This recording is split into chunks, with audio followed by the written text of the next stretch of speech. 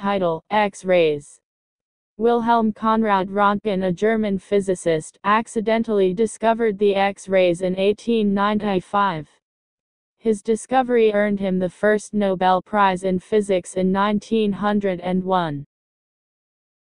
On 8 November 1895, while working in his lab, Röntgen accidentally discovered some radiations having short wavelength and high energy.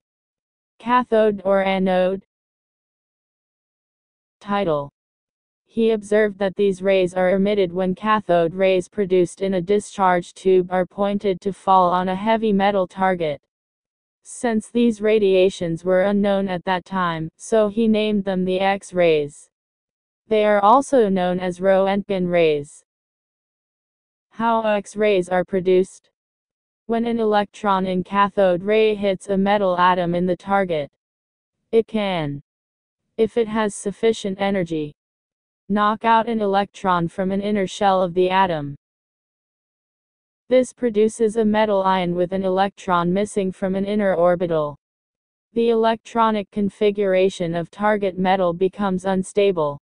An electron from an orbital of higher energy drops into the half-filled orbital and a photon HV is emitted. The photon corresponds to electromagnetic radiations in the X-ray region. Properties of X-rays 1. The X-rays are electromagnetic radiations of very high frequency and energy. 2. Energy and 1 of X-rays depends upon the nature of anode. 3. Every metal has its own characteristics minus rays. 4. X-rays are emitted from the target in all directions. X-rays and the discovery of atomic numbers. Henry G. J. Moseley was an English physicist and student of Rutherford. In 1913 Moseley did systematic and comprehensive study of X-rays. Moseley studied a range of wavelengths 0.04 to 0.08 degree A. Moseley's research Moseley used the technique of X-ray spectroscopy for his experiments on X-ray diffractions. X-ray spectroscopy was a latest technique discovered by Max von Laue, a German scientist. Determination of atomic number.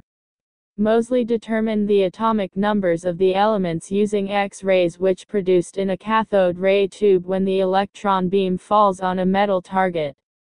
He analyzed the spectral lines obtained from 38 different metals used as targets. Moseley's experiment bombardment of different metals with electrons to produce X-rays. Moseley proved that the frequencies of X-rays are directly proportional to the number of protons in the nucleus. He defined the number of protons in the nucleus as atomic number. Conclusions of Moseley's analysis. The spectral lines could be classified into two distinct groups. Lines of shorter wavelengths, K series. Lines of longer wavelengths, L series. If the target metal is of higher atomic number, the frequency of X-rays becomes higher. He formulated a relationship between frequency and atomic number of the elements which is called Moseley's law. Moseley's law the square root of frequency of a spectral line in X-ray spectrum varies as the atomic number of an element emitting it. Where A and B are constant quantities. This discovery changed the methods of classification of elements. The modern periodic table we now use is also based on Moseley's findings. This was the time when World War I broke out in Western Europe. Moseley volunteered for the Royal Engineers of British Army. In a tragic loss to science, Moseley was shot and killed during the Battle of Gallipoli on 10 August 1915, at the age of just 27. A number of prominent authors have speculated that Moseley would have been deserving of the Nobel Prize in Physics in 1916 which was awarded to nobody that year. Practical applications of X-rays After the discovery of X-rays by Roentgen in December 1895, scientists started experimenting with X-rays in order to find their practical applications.